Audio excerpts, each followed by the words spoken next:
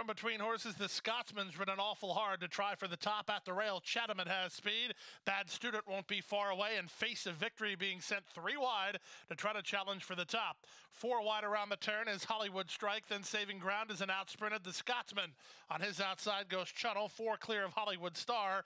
And the veteran Grey Bow is last of the eight as they charge around the first turn. With the advantage, it's Chatham and Luis Saez. They lead three parts of length. Bad Student in the two path second, three wide third, face of victory. That's a length and a half back to Channel from the far outside in Hollywood Strike and from the rail, the Scotsman. These three are better than five lengths ahead of the two at the back, who are Hollywood Star and Grey Bow. Quarter time, 23 and 2. Down the backstretch they go. Chatamant in front by a length and a half. Second is Bad Student at the rail. The Scotsman to joint third. Still three wide as face of victory while fourth. Then Channel in fifth. Losing ground a bit is Hollywood Strike. Starting to gain ground are both Grey Bow and Hollywood Star as they race to the first finish line through a 46 and 4 half mile.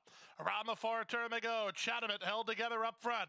Bad Student the nearest pursuer second. The Scotsman at the rail third. Channel runs in step with him from fourth.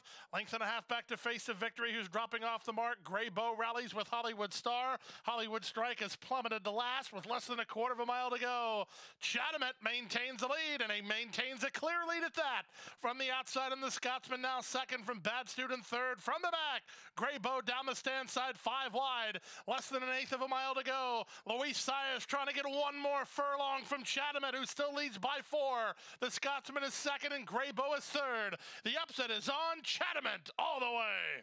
The Scotsman is second. Grey Bow appeared to win the photo for third over Bad Student in 144 flat.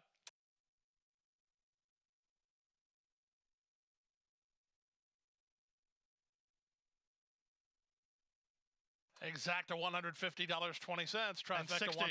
High five, $12,880.90. That's a dollar high five. Pick three, $365.35.